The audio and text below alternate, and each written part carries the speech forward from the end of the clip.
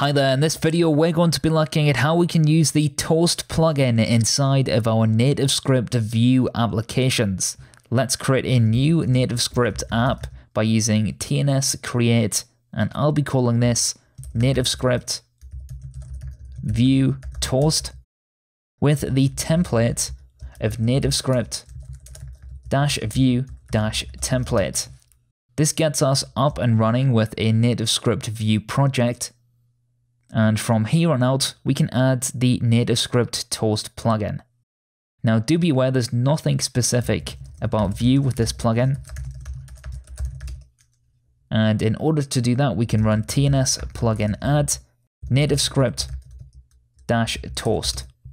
I'll finally open this up inside of my editor with code dot, and then I'll run this on iOS by using tns run iOS. If everything has worked so far, you should get a standard NativeScript Vue application. And inside of our app.js, I'm simply going to remove everything. Let's start off by requiring Vue. That can be done by requiring Vue from NativeScript Vue. And then I'm going to require Toast from NativeScript Toast. After that, we can set up a new Vue instance. That instance will have a template the template will have a page. We'll also give this an action bar. With the title of NativeScript Toast. We'll also have a stack layout and we can add whatever we want inside of this stack layout. But I'll be adding a button. And when we tap on the button using the at tap I want to call a method named showToast. The text of our button will simply say showToast. And from here on out, we can write the showToast methods. To make it so our application actually boots up, we can add the dollar $start function at the end of our Vue instance. You should now see NativeScript Toast with a showToast button.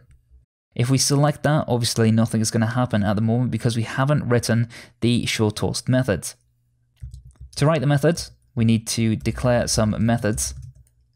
And inside of here, I'm simply going to write a new function named showToast, and that will say toast.makeText. In here, we can declare what text we want to say. I'm going to say hello NativeScript Vue and then we can declare a duration. The duration I'm going to give this is long. Notice how that is a string. And then if you want, you can also make this a variable. So we can say const my toast is equal to the toast method. We can then show our toast by saying my toast dot show. And if you wanted to, you could chain that to the end of the toast.makeText function. But if we save this file, you should now see that our toast should appear. I'm going to hit show toast and you can see hello NativeScript Vue at the bottom of our screen. Let's make this a little more interesting if we added a text field. Let's make this a little more interesting by adding a text field. And we'll give this the v model of message. So of course, at this moment in time, message does not exist. So we'd need to change our make text to instead be looking for this dot message. So we could then inside of our text field say hello. And if we hit show toast, of course we would get that hello message from the this dot message model. If you've used ng model before in Angular, you should be right at home with vmodel. We could declare a standard default variable inside of our data called message. And this could be our native script view message that we had before.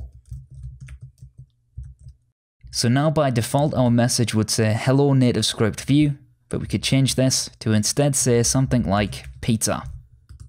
So that's how we use the NativeScript Toast plugin inside of our NativeScript Vue applications. I have to say I really am a big fan of Vue and I'm using it more and more in my projects, so you'll most likely see more NativeScript Vue content in the coming months. Let me know what plugins you'd like to see, of course, inside of the comments section below, and any example applications you'd like to see over here in the comments or over at Patreon. Thanks a lot for watching. Don't forget to check out paulhalliday.io for more courses and free content. Until next time, see you soon in that next video.